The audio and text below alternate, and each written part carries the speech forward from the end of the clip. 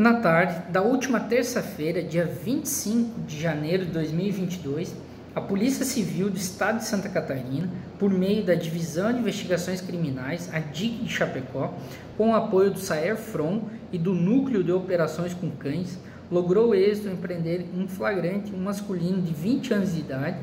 é, pelo crime de tráfico de drogas, no bairro Seminário. Junto à residência desse indivíduo também foi localizada uma grande quantidade de droga, que só foi possível com o apoio do Núcleo de Operações com Cães.